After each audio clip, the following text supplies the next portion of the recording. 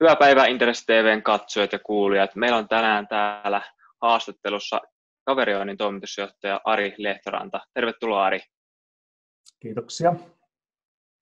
Käydään tässä haastattelulla läpi hieman Kaverioinnin Q1-tulosta ja kuinka sitten tämä nykyinen koronavirustilanne yhtiö vaikuttaa nyt lyhyellä ja tulevaisuudelle hieman pidemmällä aikavälillä.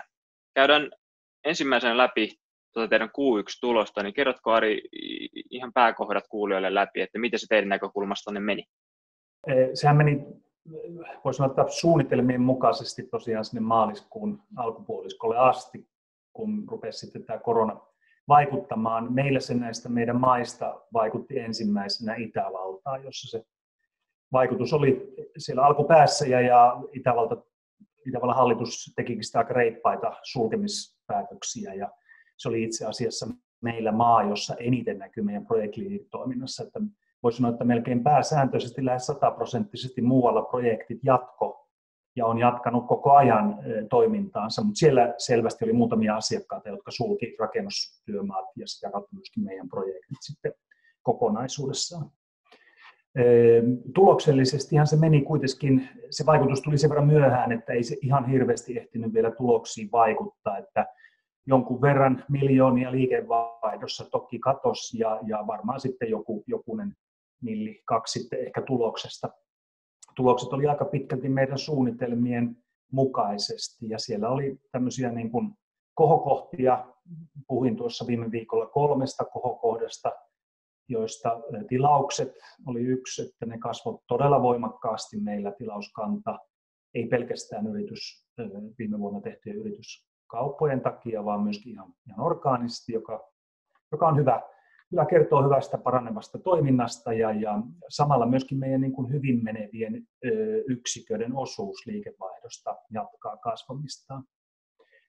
Liikevaihto oli myöskin positiivinen ö, kohokohta. Me ollaan menty monta kvartaalia tämän meidän projektiliiketoiminnan selektiivisyyden takia alaspäin liikevaihdossa, ja vaikka se projektit liiketoiminta edelleen jatkoi alaspäin menoa, niin palveluiden kasvu oli sen verran hyvää ja yrityskaupat toki tuki sitä, että päästiin nyt sitten kasvupolulle. Taisi olla paikallisvaluutoin noin seitsemän pinnaa se meidän liikevaihdon kasvu. Ja kolmas kohokohta oli nyt jo useamman kvartaalin meillä kohokohtana ollut kassavirta. Että vaikka siellä oli verrokkina hyvä kassavirta viime vuodelta, niin se pystyttiin melkein vielä tuplaamaan ja, ja sitä kautta meidän likviditeettitilanne on, on, on suorastaan erinomainen tällä, tällä hetkellä. Ja kyllähän se kannattavuuskin nyt parani, kun katsotaan, otetaan erikoiserät viime vuonna pois. Meillä oli viime vuonna positiivinen arbitraatiotulos, joka paransi merkittävästi sitä viime vuoden ensimmäisen kvartaalin tulosta. Että jos se nyt tuossa otettaisiin vertailussa pois, niin kannattavuuskin selkeästi parani. Tosiaan itselle nousi raportista valopilkkuna tuo kassavirta, sitten tämä tilauskertymä myös orgaanisesti taisi olla noin 8 prosenttia plussa, jos vertaa vertailukauteen, ja sitten myöskin Saksan ehkä tämmöinen pienimuotoinen käänne jo havaittavissa, että siellä oli jo, oli jo päästy kasvuun, kasvuun Saksan, Saksan maalla, niin avatteko hieman, että miten Saksan käänne on nyt edennyt, ja voiko, voiko jopa puhua, että siellä oltaisiin nyt saatu divisiona kuntoon, vai onko vielä liian aikaista tästä puhua? Joo, Saksa, Saksa on noudattanut tätä samaa jalanjälkeä kuin meillä nämä muut divisioonat tässä kuntoon tulemisessa. Eli ensiksi paranee kassavirta ja se meillä tapahtui Saksan osalta jo viime vuonna. Saksa oli viime vuonna selkeästi paras kassavirran parantaja. Ja tänä vuonna he ovat toistaiseksi olleet paras tuloksen parantaja, mutta ei olla vielä eh, kunnossa Saksassa. Että kyllä meillä vieläkin niitä vanhoja projekteja siellä on käynnissä ja niitä viedään viedään poispäin. Palvelut liiketoimintahan siellä on ollut jo kunnossa pidemmän aikaa ja, ja siellä on meillä ollut myöskin mukavasti kasvua. Joo. Mutta tekemistä vielä tulee, tulee Saksassa olemaan eteenpäinkin. Sitten mennään hieman tuohon koronavirukseen ja nykyiseen tilanteeseen, niin voitteko arvioida hieman, että miten tämä tilanne teihin tulee vaikuttamaan ja on vaikuttanut jo tässä ensimmäisen kvartaalin aikana? Joo, minä heti haluaisin erottaa kaksi eri kriisiä. Että on tämä viruskriisi ja sitten sitä, siitä tuleva sitten tämä talouskriisi. Ja ei me ehkä ihan pahimmassa niin kuin silmässä tässä virusvaiheessa, viruskriisivaiheessa olla. Että me ollaan kuitenkin, jos meidän asiakkaita katsoo, niin me ei olla asuntotuotannossa juurikaan mukana. Meille ei ravintola, turismi ei näyttele kovinkaan suurta roolia. Sen sijaan esimerkiksi sairaalat, infrastruktuuri, logistiikka, kauppaketjut, ne näyttelee. Että kyllä me, meitä, niin kuin meitä tarvitaan siellä pitämässä teollisuuden ja kaupan ja logistiikan pyöriä pyörimässä. Et meihin, meihin vaikutti itse asiassa enemmän tässä viruskriisivaiheessa palveluliiketoiminta. Et meillä oli asiakkaita teollisuudessa pääasiassa, jotka hyvin varovasti laski ihmisiä tähän niin kuin kriittiseen prosessiin ja jonkun verran palveluliiketoimintaa jäi sitten hyllylle odottamaan tekemistä, tekemistä myöhemmin. Ja totta kai me keskityttiin turvallisuuteen tässä alkuvaiheessa, opeteltiin projekteissa tekemään niitä etäisyydet pitäen, ollaan kasattu suojamateriaaleja, tehty asiakkaan kanssa paljon töitä, töitä sitten tämän niin uudenlaisen tekemisen suhteen. Et uskoisin sitten, että tämä kriisi, kun etenee talouskriisivaiheeseen, niin siinä vaiheessa sitten meihin rupeaa enemmän näkymään se, että uudet käynnistyvät projektit viivästyy. Ja se tulee toki, toki sitten vaikuttamaan. Meillä on onneksi erittäin hyvä historiallisesti paras tilauskantatilanne, että sieltä ei ole vielä mitään peruutuksia tullut vastaan. Arvioitte tuossa raportissa myös, että tämä epävarmuuden takia juuri palveluissa ja projekteissa kysyntä tulee heikkenemään tässä varmaan lähi, lähitulevaisuudessa, mutta sanoitte myös, että tämä, sinänsä tämä tilanne voi luoda myös jotain uusia mahdollisuuksia teidän liiketoiminnalle, niin avaatteko hieman näitä? Joo, no yksi perinteinen, eh, mikä tulee yleensä tämmöisissä taantumatilanteissa on ulkoistukset. Siinä, siinä niin kuin haetaan säästöjä ja kyllä meillä on mahdollisuus meidän teollisuusasiakkaille, ja miksei myöskin esimerkiksi kaupan, kaupan ja, ja, ja kaupallisen alan asiakkaille, niin on mahdollisuus tarjota kustannussäästöjä, koska me pystytään sitä huoltoa paremmin joustamaan, pystytään käyttämään henkilöstöä muualla, kun sitä ei tarvita siellä asiakkaan luona, ja toiseksi sitten nämä digitaaliset ratkaisut parantaa tehokkuutta.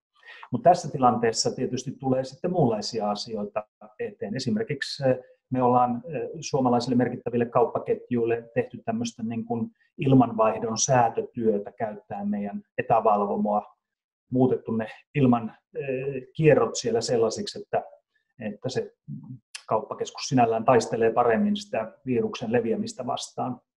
Digitaaliset palvelut ja tämä etävalvomo mahdollistaa turvallisemman tavan tehdä sitä työtä ja mä luulen, että se, se tulee nousemaan arvoon arvaamattomaan. No sitten on yksi tämmöinen esimerkki, jota on tullut nyt jo vastaan, että kun ne tilat siellä aika tyhjillä on, niin siellä on hyvä tehdä silloin tiettyjä korjaus- ja modernisaatiotöitä. Niitä on jonkun verran tullut. Ja sitten tietysti just eh, nämä alat, joita nyt kaikkein kipeimmin tarvitaan. Että me ollaan mukana terveydenalan sekä lääketeollisuuden että, että sairaaloiden työssä. Me ollaan yksi meidän alueen johtavimmista puhdastilojen toimittajista. Niitä tarvitaan esimerkiksi siinä vaiheessa, kun näitä kunkin oman maan turvaväline valmistusta laitetaan, laitetaan pystyyn. Ja kyllä tämä nyt niin kuin tämä kestävän kehityksen, kyllä se palaa agendalle pian myöskin se, että se ei ole minnekään poistunut päinvastoin. Nähdään, että tämä kestävän kehityksen investoinnit tulee sitten jatkamaan, kunhan tästä ensimmäisestä viruskriisistä on, on selvitty eteenpäin. Näyttäisi siltä, että tämmöiset teidän alan megatrendit, digitaalisuus, kestävä kehitys, energiatehokkuuden lisääntyminen kiinteistöissä ja teollisuudessa varmasti niin kuin jatkaa aika lailla samalla tavalla etenemistään. Kyllä, kyllä. Nähdään, nähdään näin jo ilman muuta. Kyllä. Jos mennään hieman sitten vähän pidemmälle aikavälille ja mietitään strategiaa, teillä on kuntoon vaihe nyt oikeastaan pääosin saatu loppuun ja nyt on kasvuun vaihe sitten aloitettu tietyissä divisioonissa aika vauhdikkaastikin. Tuossa Q1 nähtiin kasvua. Niin miten te näette nyt tulevaisuudessa ehkä hieman tässä heikentyvässä markkinatilanteessa kuitenkin niin pystyvänne korjaamaan ehkä näitä heikkoja divisioonia vielä kuntoon ja sitten taas toisaalta kasvamaan näissä, näissä niin kunnossa olevissa divisioonissa? Joo, tämä kasvu on, on hyvä ja kyllä me pidetään tässä myöskin silmät auki nyt mahdollisille esimerkiksi yrityskaupoille. Siinä voi tulla mahdollisuuksia tämmöisessä tilanteessa. Silloin kun divisiona on kunnossa, niin siellä ei aika mene niihin projektihaasteiden kanssa pelailuun, vaan pystytään keskittymään sekä myyntiin, asiakkuuksien hoitoon että sitten kehittämiseen paljon enemmän. Ja se meillä on näkynyt, että nämä, niin kuin nämä kunnossa olevat yksiköt on nyt kasvanut aika, aika reippaastikin ja niillä on edelleen lupa, lupa kasvaa. Mutta tämmöinen tilanne, jossa mennään taantumaan, niin kyllä se sitten mahdollistaa myöskin ehkä reippaampiakin liikkeitä sitten. Esimerkiksi jos siellä on vielä hiukan huonommin pärjääviä projektiyksiköitä tai, tai, tai, tai, tai jopa niin kuin yksilöitä, niin tämmöisessä tilanteessa niin kyllä niin kuin performance management sitten leikkaa, leikkaa reippaammin sitten semmoiset rönsyilyt sitten vielä sieltä pois. Että kyllä me varmaan tämmöisiä tietynlaisia rakenteellisia liikkeitä tässä pienimuotoisena tullaan, tullaan jatkamaan. Kiitoksia Ari todella paljon haastattelusta ja onnea ja menestystä seuraaville kvartaaleille ja tähän haastavaan markkinatilanteeseen. Kiitoksia. Ja tervetuloa.